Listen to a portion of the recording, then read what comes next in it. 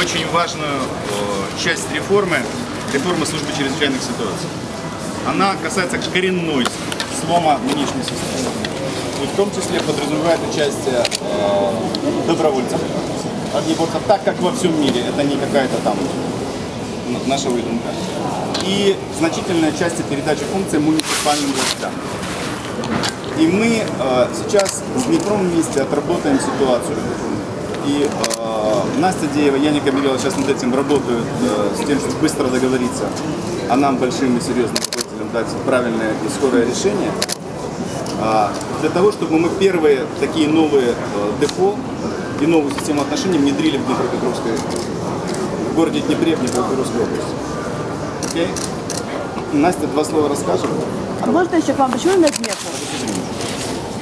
Тогда я могу от- ответить. Днепр на самом деле сейчас один из самых быстро развивающихся городов. И поэтому, собственно говоря, это была наша общая инициатива показать, как муниципальная пожарная команда, но не только, а весь комплекс решений по пожарной безопасности может функционировать в городе. К сожалению, в Днепре ситуация по пожарной безопасности до сей поры очень слабая. И поэтому мы э, с нашей рабочей группы очень рационально, скажем так, подошли к решению этого вопроса. Я надеюсь, что уже в следующем году мы сможем открыть три новых депо нового типа, не только с привлечением добровольцев, но также и с минимальным количеством профессиональных пожарных.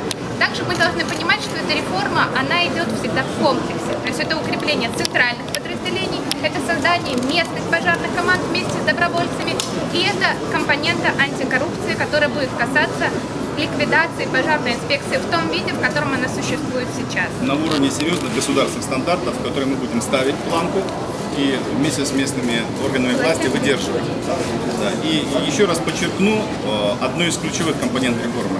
Негативный образ пожарного инспектора идет дальне далеко.